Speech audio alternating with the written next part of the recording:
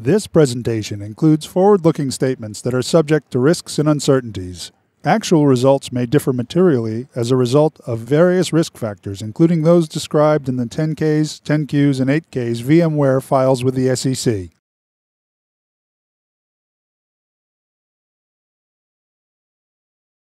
Ladies and gentlemen, please welcome VMware's Chief Executive Officer, Mr. Pat Gelsinger.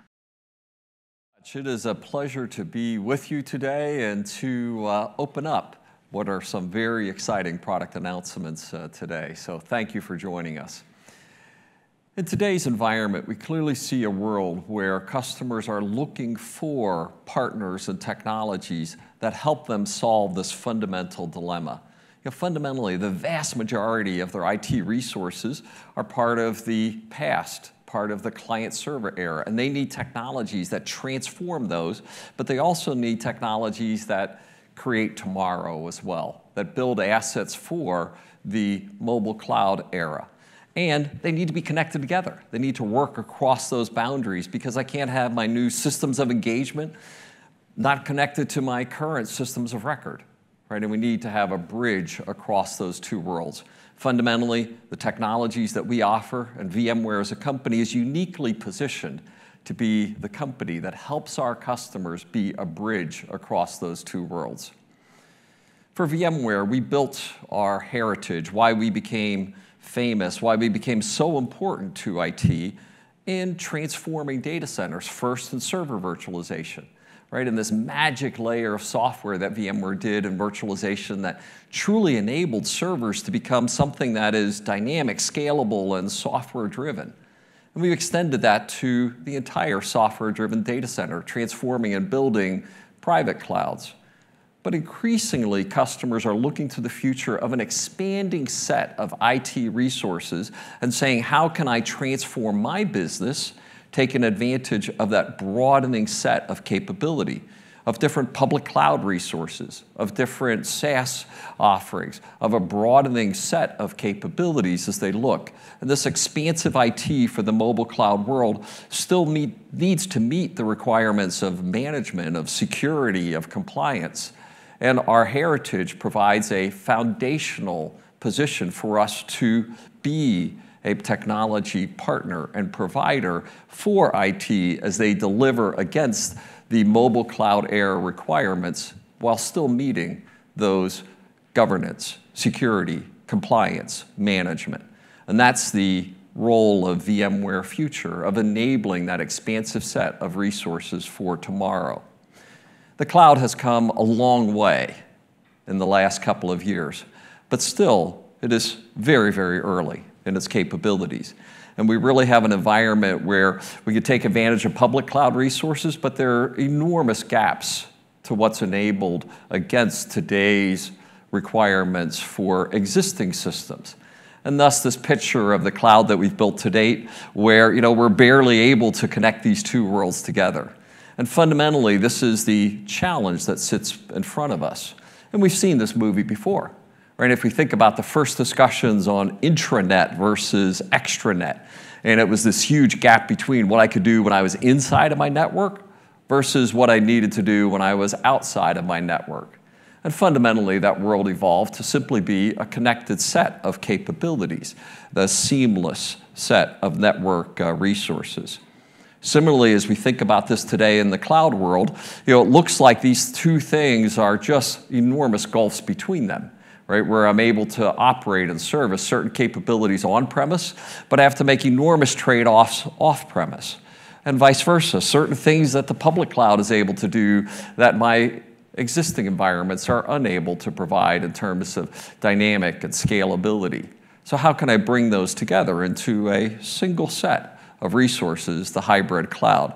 And again, this is the future state of what we need to build as we see this movie played out yet again.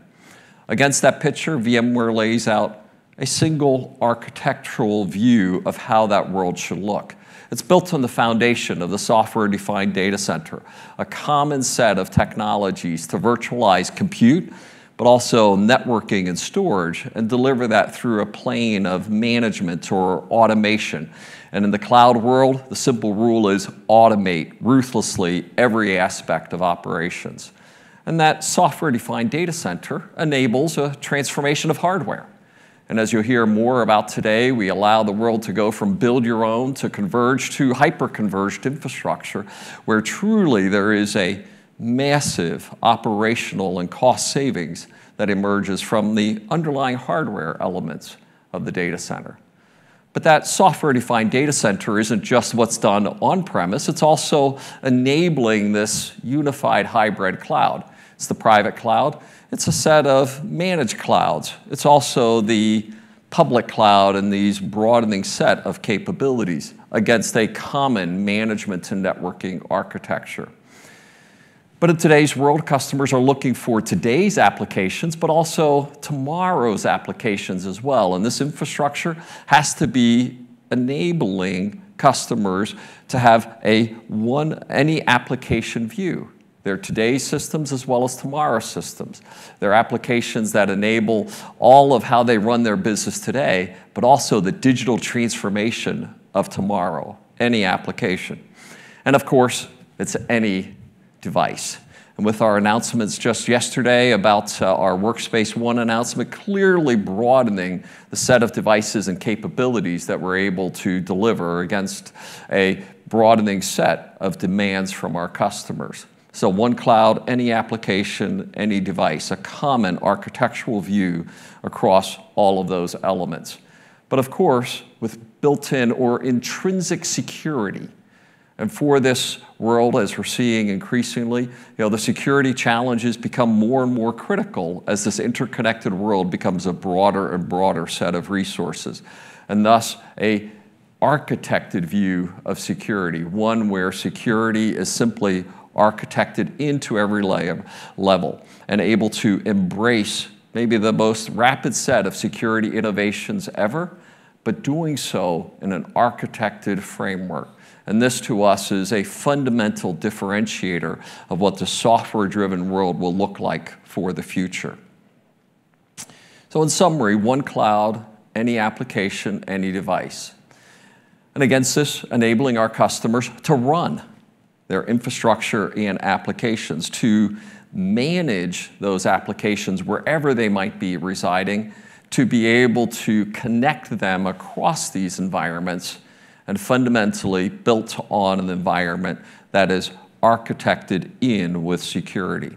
And for that picture, VMware is excited about today's announcements as they continue to fill out that portfolio of uh, capabilities, a set of capabilities that uniquely enables our customers to run, manage, connect, and secure the environment of today and build the environment of tomorrow. It's my pleasure now to introduce Raghu Raghuram, and he'll take us through the next level of details against this. And Raghu, for us, runs our software-defined data center uh, businesses, and uh, out of his group is many of the announcements that you're seeing today. Raghu? Thanks, Pat.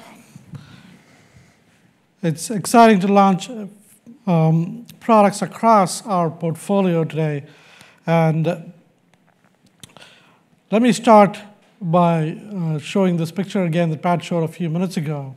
We are setting out to build the integrated architecture for IT, one that enables our customers to run any application, traditional or a cloud native application, on any cloud, on their private clouds, on managed clouds, and uh, public clouds, and deliver the application across a variety of uh, devices.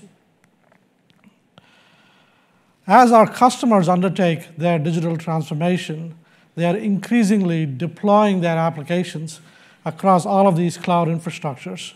Clearly, a majority of their applications live on their private cloud. At the same time, they're building out their application portfolio on other clouds as well. Now, each of these clouds has a distinctly different set of technologies, distinctly different set of operational models, and operational skills that are required to ensure security and compliance. In many ways, we've got these new silos of clouds, much like the data center had these silos of Unix and Windows and Linux pre-virtualization. Just as virtualization technologies from VMware unified the operational model for all applications in the data center, we are setting out to build a stack of software that unifies how customers deploy, manage, run, manage, connect, and secure their applications across all of these environments. And that endeavor starts with the private cloud. The private cloud is where customers have got 80% or plus of their applications today. And by all accounts, it is too complex. So job number one is to dramatically simplify the construction of the private cloud. Over the last couple of years, hyperconverged infrastructures have emerged as the key mechanism to effect a dramatic simplification in the data center. By taking storage and networking and compute and turning them into software services in an integrated stack running on industry standard x86 hardware, you can achieve a level of simplification and standardization that is orders of magnitude better than current private cloud architectures. As a result, the hyperconverged software stack has become the foundation for the modern day data center. The hyperconverged software stack from VMware is, of course, starts with vSphere, our market leading hypervisor, and includes virtual and virtual center server for management. But the storage foundation is virtual SAN. Over the last couple of years since its uh, release into the marketplace, virtual SAN and the hyperconverged software stack has proven to be tremendously popular with our customers solving a variety of problems. Today, we have over 3,000 customers on our hyperconverged software stack, making it the most widely deployed hyperconverged software solution in the industry. Today, we are excited to announce the next generation of our hyperconverged software solution with the launch of uh, Virtual SAN 6.2. Virtual SAN 6.2 is a fundamental breakthrough in the following way. Traditionally, if you're selecting storage, you had to make a hard choice. You could choose very high performance, high IOPS technology, or you could choose very simple and cost effective hyperconverged technology. And this was the choice that you always had to grapple with as a data center architect or an administrator. For the first time in the industry, we are able to bring these two together in Virtual SAN 6.2. The reason we are able to bring these two together is Virtual SAN 6.2 features new breakthrough storage efficiency technologies that provide up to 10x more usable storage capacity compared to its predecessor releases, and retains the groundbreaking performance of the hyperconverged uh, technology integrated with the hypervisor. So as a result, you can get up to 100,000 IOPS a node and stretching across 64 nodes scaling linearly. At the same time, because of the tremendous space-saving innovations in Virtual SAN 6.2, the cost of storage can be as low as a dollar a gig. This is a magic combination. Storage at a dollar a gig, 100,000 IOPS. And that's what Virtual SAN 6.2 brings to the table.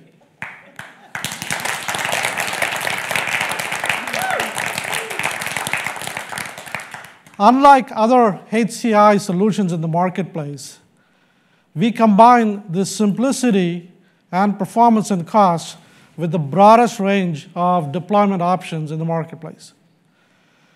You can take the hyperconverged software stack and combine it with a variety of tested and certified virtual SAN ready nodes, factory installed from the widest array of VMware partners across the globe.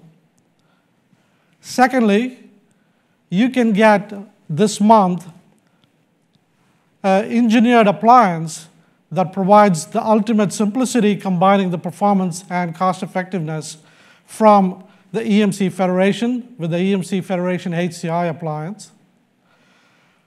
Thirdly, as we announced at uh, the VMworld last year, we are in limited availability with an end-to-end software-defined data center stack that is built on top of this hyperconverged software foundation and adds NSX, the network virtualization platform, and vRealize our cloud management and automation platform to provide a fully automated private cloud that has the compelling economics and performance and the ability to handle not just today's applications, but tomorrow's applications. So in summary, we are very excited about Virtual SAN 6.2. But today's announcement does not stop at Virtual SAN 6.2. I just talked about our automation strategy with vRealize. Over the last couple of years, industry analysts have recognized vRealize automation and the vRealize suite to be the market leader in deployed market share for cloud management platforms. And analysts have declared it to be the most comprehensive solution in the marketplace. So let's take a quick review of this. vRealize automation, vRealize uh, suite is meant to be a cross-cloud management suite. So it works not only on your VMware-based SDDC infrastructure, it works across other hypervisors, and as you will see with this new release, we are able to extend it across clouds as well. As a result, you can take an application and be able to deploy it and manage it through its lifecycle in a consistent manner, regardless of whichever infrastructure you want to run it on. A few minutes ago, I said this is the most comprehensive cloud management platform in the industry. And it consists of four major components. vRealize Automation is the technology that allows for customers and developers to be able to create applications and then automatically deploy and manage them through the lifecycle of the application. vRealize Business enables IT architects and administrators to get a real-time view of how much their application costs to run on these various clouds that uh, they might choose to use. vRealize Operations and Log Insight provide for day two operations and health and performance management of both the application and the underlying infrastructure. We are excited to announce the next generation of these vRealize technologies with vRealize Suite 7 vRealize Suite 7 consists of vRealize Automation 7, and vRealize Automation 7 brings some exciting new cap capabilities with respect to application blueprinting into the marketplace. Now, you can create a unified application blueprint, and it can encode not only the application deployment uh, capabilities, but also the automation required for setting up the network and security and storage policies required for that application to run effectively. And it can be deployed on top of your private cloud as well as public clouds like Amazon Web Services. vRealize Business complements vRealize Automation by providing costing and financial management information. And then vRealize Operations and vRealize Log Insight allow for operational management of these applications across clouds. The third component of our strategy to enable customers to build and run and manage and secure their applications across all clouds is NSX, our network virtualization platform. We recently announced that NSX has now more than 1,000 customers and is one of the most rapidly deployed infrastructure technologies in the industry. NSX has turned out to be a very powerful solution to automate network services in the data center and deliver application security through microsegmentation. But our vision for NSX does not stop at the data center. Last month, we announced that this year we'll be extending NSX to connect and secure applications and enforce network and security policy, not only in the data center, but also across AWS and Azure. And in collaboration with our AirWatch and end user computing technologies, we are able to extend overlay networking all the way down to the device endpoint as well. Now, given that all of these devices and applications run on different clouds and different technologies, there is no single physical network infrastructure that can connect all of these. The only way you can enforce network security and network policy is through the magic of overlay networking. And NSX is the leading network virtualization technology that enables customers to enforce networking security and policies wherever the application and their endpoints might reside. This is a powerful vision, and we are just getting started on executing this vision. So, in summary, VMware innovation continues unabated to realize this promise of any application on any cloud delivered to any device. And this allows us to be a partner with our customers in accelerating their digital transformation.